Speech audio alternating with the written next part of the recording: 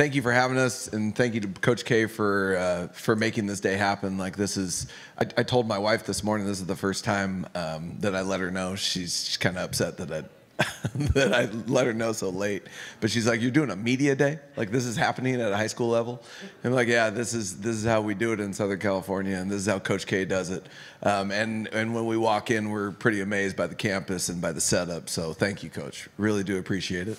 Um, yeah, here at Huntington, we're all about you know hard work and, and doing things right and, and doing things trying to be as perfect as we can in practice and um, you know to we're humbled to be a part of such a good um, uh, day where there's so many different great programs and great coaches that probably do it the same way that we do it. You know, everybody here seems to be um, the type of coach that uh, that I would want to play for, um, and I think, and hopefully, these boys understand that that um, there's a lot of great programs here in Southern California, and there's a lot of great coaches who care about their players, um, and I, I'm I'm humbled to be a part of this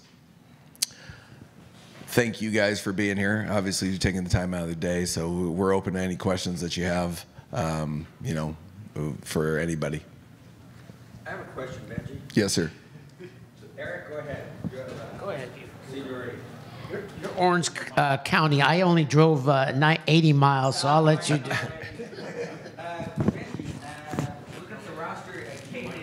Hold on, hold on. Yes, sir. Prior pretty good. All right, so that's what I was just asking. So Caden's uh, uh, position for him figured out uh, for sure? I mean, obviously, he'll be one of our pitchers when he comes back from his 30 day sit. Uh, he'll be somewhere on the infield, maybe first base, maybe second base. We really don't want to take away from his arm uh, when he's on the mound. Um, but his bat will be in the lineup, and uh, he'll be he'll be somewhere either in the middle infield or at, at one of the corner spots. He'll be on the infield though. Okay. Your pitching's pretty young this year, isn't it? A little bit, a, li- yeah. a little a mix of both. Uh, I wouldn't say young. There's just maybe not as many innings as as we've had in the past. Uh, Thomas Babineau, who's committed to Cal State San Marcos, will be leading the charge before the the um, sits. You know, before those guys with their 35 day sit will come back. Uh, but Dominic Ventimiglia, Mike Coburn, actually Jag will pitch a little bit. Um, so we have a little bit of, of, of, experience coming back, but our younger arms that we're really excited about uh, will get thrown into the fire early, and we'll see how they do. I got one last one that I'll just hand the mic off to Mr. Sonheimer. Uh, do you like the way the playoffs are set up now? Um, no. And, and, if you okay, and so my thought was going to be if you were to if you were to tweak it, they gave you the power to change it up. What would you do? Uh, double elimination. I think we could model it after San Diego, or we can model it after uh, the way Nevada does it. Um, just the one and done format. You know that I, this isn't this isn't basketball. This isn't football. Um, you don't. I don't think you really get a sense of how good a program is in one day. You know, I think if you go two out of three, or you know double elimination you can you can get into someone's pitching staff you can get into the the heart of their lineup a little bit more. Um, and anyone can beat anyone on any given day. Uh, we did that in 2013 we beat Mater Dei and we had no business beating Mater Dei they're number one in the nation. We were terrible. Um, and we and we knocked them out of the playoffs. So you know that that helped us that year. Um, but we've been knocked out by a team, you know, by teams where I felt like, oh man, that's just you know the one and done thing just uh, doesn't sit well for me. Um, so a double elimination would be the way I would go about it. Mm-hmm. I'm already seeing your your line scores. You're already playing games on the weekend, and Jake seems to be has picked up where he left off last year. Can you just discuss how good a hitter he's become? Uh, I think th- both of these guys have worked really hard on their swing, and they have, um, you know, obviously been in the weight room, gotten stronger. And if you watch them both in their uniform, they they they look really they look a lot more physical than they did last year. So I think the added strength has helped them become better hitters. Um, yeah, he had a really good weekend at USD. Uh, I think he he's he's always liked hitting there uh, since we've we've gone on those trips. He always seems to hit really well at USD. Um, so yeah, he's you know Jake is going to be. Uh, they obviously both are going to hit two and three this year. Um, I don't know what order that's going to be. He could be two, he could be three. They're interchangeable, but um, they're both very very good hitters. They have very good approaches. Um, and they're not afraid. You know, now that they're seniors, they they're not afraid, and I think that's the biggest thing when it comes to um, their success. Benji, uh, seems like since you've been there, it's just been one guy after another. Every so often, you got a couple guys. Danner Prado a few years ago, Right. Josh last year. These two guys this year. What is it? I mean, what, what is it about the culture of your program? It's the that- stadium, man. Well, It's the stadium. You keep It's saying it's the grass. stadium. You keep saying it's the stadium, but what is it about the culture, of your program, the your longevity? I mean, your assistants have been with you for a while. I mean, Right. how does all that stuff play into the success you've had as a program? I mean, it's going to start with our, our coaching staff, uh, Coach Springston, Coach Rozecki, Coach Bernstein. They we've we've been together now for 15 years. Um, they all work on campus. Uh, we added Coach Urabe, who you know played at UCLA but played for us. Um, it's just consistency. You know that we we get into the little leagues. We kind of teach them at a young age um, how we're going to do it at Huntington, um, and then we have just been teaching basically our, our way for a long time. So these kids are, you know, both of these guys came through our feeder program. Uh, they knew how we were going to do it at Huntington, you know, when they were 13 years old. Um, and so now it's become like this thing where like it, it's it's an honor and a privilege to put on the Huntington uniform um, and to you know to play in that stadium and to play our competition that we play. You know, we have JSerra on our schedule and we play Harvard Westlake all the time and all the different things, all the different tournaments we go to.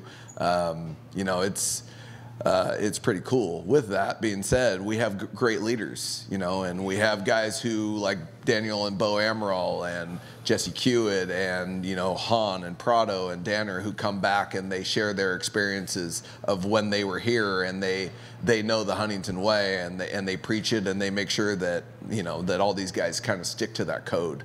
Um, so you know, it's a combo of you know past alumni and a, and a really good coaching staff that's stuck together for a long time.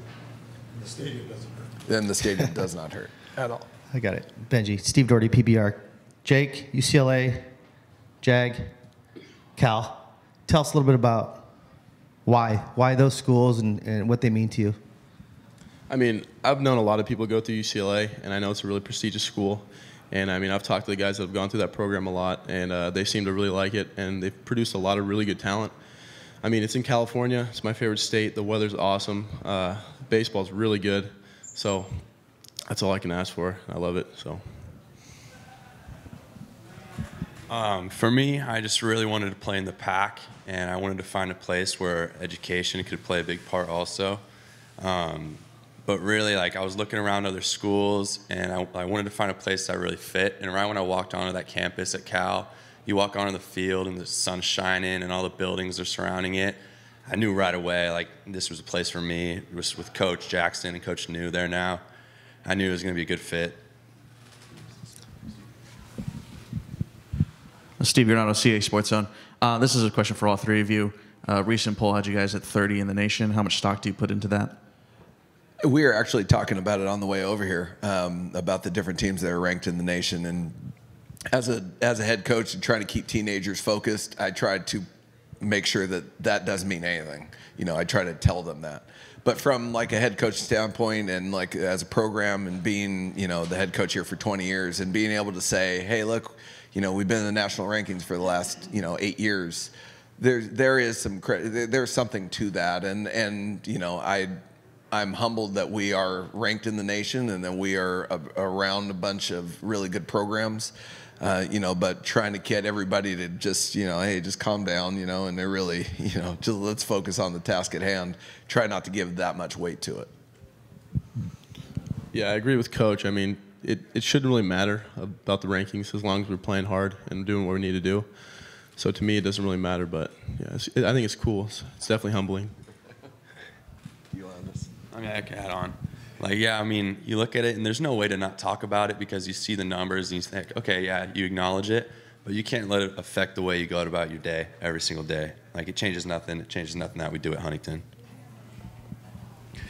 I just want to be at the end, you know. I want to be one at the end. That's what that's when it really matters. Coach Bob Gibson, SoCal Prep Report. Uh, th- th- there are some schools who, you know, uh, you know, play a really tough schedule early on. They get a little bit of a break. When it comes to league. Uh, but we know the sunset, you know, can be a real grind as well. Do you think that keeps your team a little sharper? Um, you know, ha- having to play that, you know, that, that you know that grinded out that that sun, sunset league schedule as well. I mean, the, our preseason schedule for the last couple years have been, eh, you know, when I go into it, I'm thinking, can we just be 500 at the end of this pre? You know, I'll be happy if we're six and six by the time we finish with our preseason. Um, and then there is our our league schedule is, going to be tough too. You know, every even though they split our league. Um, and actually, it made it harder because now we only have nine league games, um, which that's if you want to ask me Fryer about that, what I think about that, I'll let you know about that too. Um, but you know, so potentially we could miss the playoffs. Potentially we could we could start off, you know, we can get hurt or we can just play some bad games. There is no margin for error uh, in our schedule whatsoever. Um, so I'm hoping that it preps our boys. I'm hoping that we go into league and we're sharp and we're tough and and we have that killer mentality. But um, you know, it, it's baseball; anything can happen, and and hopefully we we show up healthy and uh, ready to to play those tough teams. Hey Benji, I'm Connor. I'm with Scorebook Live. I know you talked about the pitching earlier. Would you mind uh, answering this quick question? You mentioned Thomas Babineau is probably going to be the number one until you got some transfers eligible. When everyone's ready to play, what's the staff going to look like? Well, it's kind of hard to turn my back on Aoki, um, you know, but adding Tyler Conant uh, from Millikan to the staff, uh, a long, lanky, hard-throwing righty, uh, you know, he's gonna he's gonna get in the mix too. Um, we watched Aoki threw his first inning um, for us against Servite on Saturday, and he threw nine pitches, and it was just boom, boom, boom. You know, both sides of the plate, off speed, and everything else. We're like, okay, yeah, we got it. You know, he, he's pretty dang good. Um, but then Tyler came in, and, and he can elevate the fastball, and he can drop in a curveball, and you know the ball's coming out of the same tunnel. Um, so it's he's going to be tough on guys too. Um, so it's kind of a, a three-headed monster, and I don't want to. I don't want to take anything away from Thomas. Thomas is pitching great.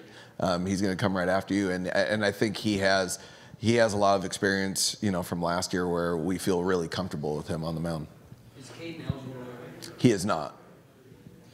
Hey, Jake, this question's for you. Um, take us through your summer. I mean, it was a really busy summer. Obviously, you know, you did a bunch of different things, both in state and out of state, and specifically, let's talk about the area code games and that experience and just kind of how it all kind of culminated there for you. Well, I mean, I had worked really hard and I'd made the area code and the perfect game, but I had had a back injury, so I didn't actually play in the area code games or the perfect game event. Uh, it was really tough for me because I had worked so hard to get to those two events, but I mean, I had to do what I had to do, and I, I still went to the events and I participated in everything, but uh, I had to watch. I had to watch all these kids have fun, play baseball, which kind of which kind of sucked. But I mean, it was a good experience, I think, for me to kind of get a break and you know watch everything unfold for myself. So it did, it was tough though. Coach, these are the now. Tell us one or two players that you're really excited about that's coming up that may make an impact this year. So we have our in our freshman class we have Aiden Espinoza. Uh, he's a left left outfielder. Um, pretty sweet swing. Um, he reminds me a lot of when Jag came in his freshman year. Um, you know, he's going to be he's going to be in the mix in the outfield. He's going to get some time. Uh, obviously, Ralphie Velasquez, uh, a corner infielder. Um, he's he's showing he hit his first home run uh, against uh, who was that? Corona against Corona on Saturday, and I heard his dad say, "It's about time." Like he's been, you could tell that he's been trying to do this, but the kid has big time power. He's a big time power, and and he actually could play some defense too. So those are the two young kids that we're really excited about. But Jack Smith is a big right-handed pitcher um, that you guys saw at USD. Um, we feel like he's going to be a pretty dominant force for us in the next couple years, um, but he's going to get some time for us too. Any last questions for head coach Benjamin? Durr? Benji, what made Coach Altobelli such a special coach? That's a good question, and and uh, Andrew Turner asked me the same one. Hopefully, I can get through this. Uh, he he always seemed like it was just about family, you know. And I talked to Broat, Justin Broat. He's playing for him right now, and and uh, we talked for about an hour the other night. And he's just like he brings everybody in. Like he, when he's talking to the team, they won their state championship. Brody said that he grabbed everybody in the stands, everyone that wanted to be a part of OCC, he grabbed them, brought them around, and, and talked to them, uh, talked to everybody, and gave every not, just his team, but like the parents and everybody. Everything was a family with Alto. Um, and so I've known him for 20 years, and you know, from my first year, he treated me like uh, like an equal. You know, and and it didn't seem like he was a baseball coach. He just seemed like uh, just a normal dude. You know, he just seemed like a normal guy who happened to be a really good baseball coach and a baseball mind. Um, so I think that's what I'll remember. And and I told Andrew this. I'm like, I want and you know we're all dads and you know we want to put our family first and baseball sometimes gets in the way it never seemed like it got in the way with alto ever it was always his family